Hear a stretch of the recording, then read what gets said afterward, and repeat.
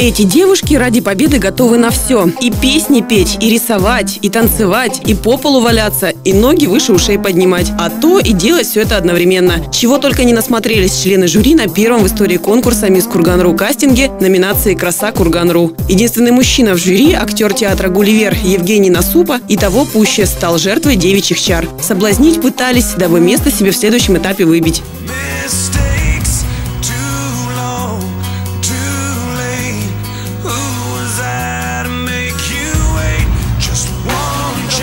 Но все было по-честному, ведь за ходом кастинга наблюдали не больше, не меньше, а три с половиной тысячи пар глаз, прильнувших субботним днем к мониторам своих компьютеров. Благодаря телекоммуникационному партнеру проекта компании «Ростелеком» действо транслировалось в режиме онлайн. Этот факт, пожалуй, добавил волнения не только участницам, но и членам жюри. Каждая вторая из вас заходит сюда, говорит, я творческий человек.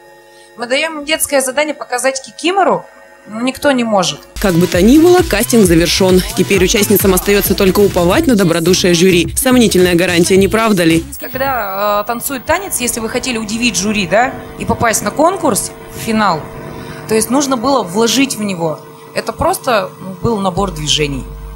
Э, спасибо, может быть, это, это не, профессион- не профессиональное исполнение. Кто разочаровал жюри? Чье выступление было самым провальным? Чьим чаром поддался Евгений Насупа? На кого возлагает надежды официальный представитель конкурса «Краса России» в Кургане Наталья Трошенко? Кто приглянулся представительницам генерального партнера проекта сети магазинов нижнего белья «Бельканто» и Николташовой и Ольги Липовки? Смотрите в эфире телеканала СТС, а также на сайте Курган.ру. И, конечно же, не пропустите объявление имен тех девушек, кто прошел следующий этап конкурса.